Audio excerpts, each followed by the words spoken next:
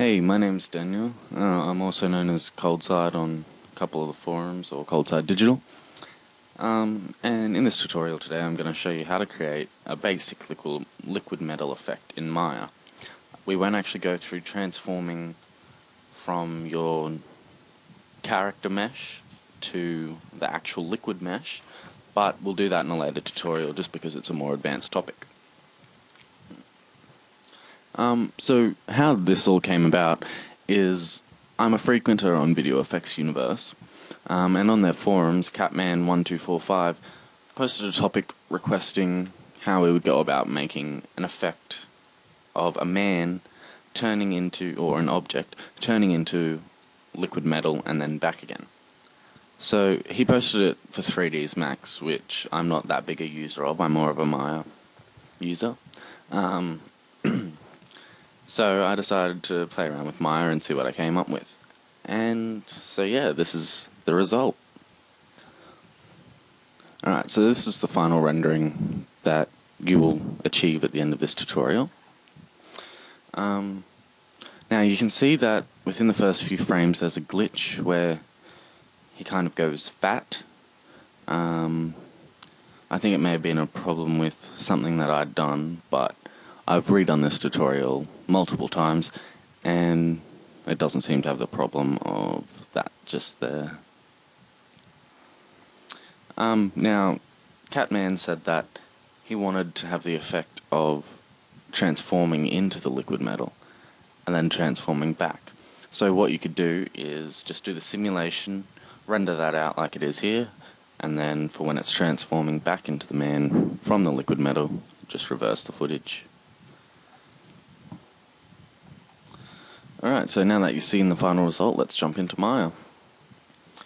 Now, this tutorial requires that you use Maya 2009.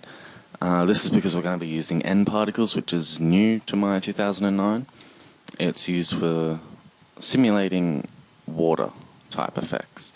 Um, it's not as advanced as an external program such as RealFlow, but it definitely gets the job done and definitely works in this situation. Um, also, I'm not going to be explaining all the hotkeys that I use to navigate around the scene and all that sort of thing. So it's expected that you have an intermediate to advanced knowledge of Maya, um, just to help you get through this tutorial a lot easier. With this video, I'm going to um, provide you with a download link for the resources used in this tutorial.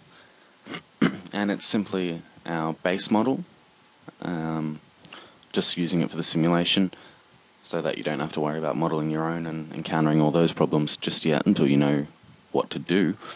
Um, and our reflection image that we're going to be using. Um, you could, if you were compositing this into a live action scene or if you wanted a different look, you could definitely use a different image such as a HDRI image.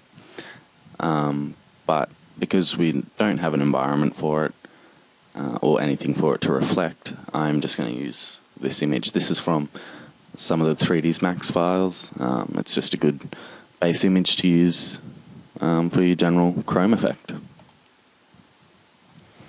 Alright, so we're just going to go into Maya and go create a new project. So File, Project, New. I have a directory where I store my projects on the C drive and it's just under C projects. Um, but yours will probably be under the My Documents category. So what I'm going to do is call this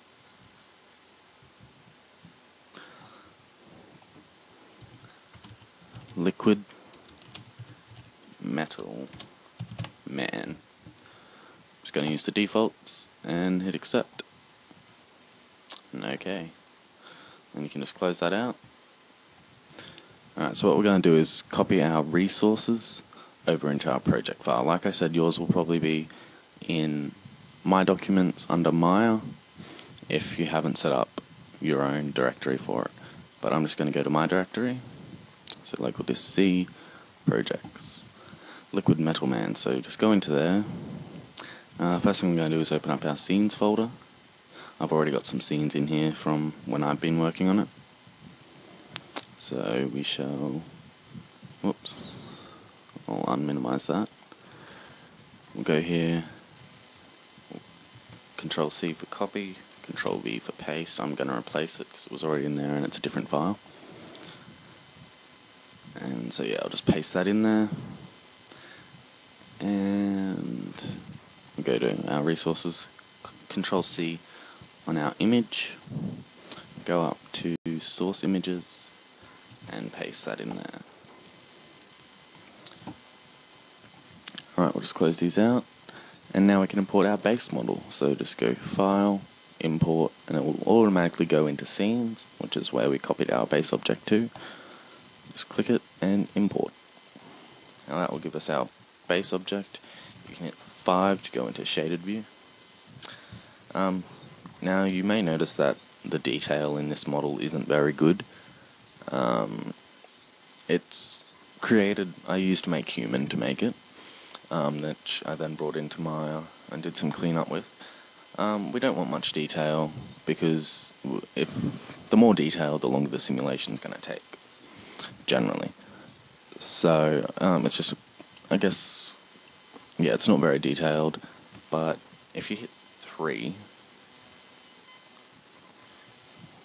you can see that actually does look alright. So just hit 1 to get back to your normal view. Alright. Okay, now we're going to go into X-ray mode, so you can just click this button here, or go shading X-ray. It's just so that we can see through the model when we fill it with our particles. Um, now just go Window, Outliner to open up our outliner. And we're going to rename our man just to base man. Um, having a good naming convention helps keep things nice and clean and tidy. Alright, so with our base man selected, we're going to go n particles, create n particles. Now make sure that's set as balls. Okay? Alright, just go to your fill object, options, open that up. Now I set my resolution to 100, um, just filling it with as many particles as we can, with as much detail as we can. So just hit particle fill. Now this process may take 30 or 40 seconds, that's generally what it takes on my machine, it may be quicker on yours or slower, so I'm just going to pause the video until it's done. Alright, so we're done, that didn't take too long. So what we're going to do is, we can just close that out with our n particle, we're going to rename it to liquid man and then we're going to hide our base man. So just hit select it in the outliner and hit Control H.